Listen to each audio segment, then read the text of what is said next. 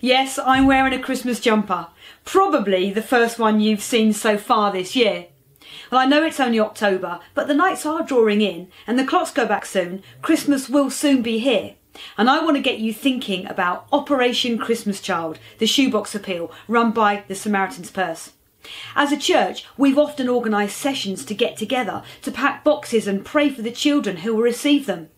Well, COVID restrictions limit our options this year, but love isn't in lockdown.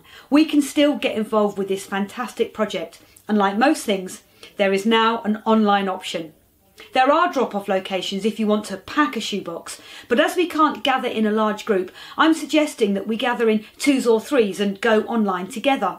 If each of us reaches out to one or two others, there will be lots of connections and catching up over a cuppa and fun and fellowship as you pick items and pray together for the children who will receive your gifts. So, what do you think? Who could you reach out to to do this with? All the information you need can be found online at samaritanspurse.org.uk. Let's show these precious children who are in need all around the world that love isn't in lockdown.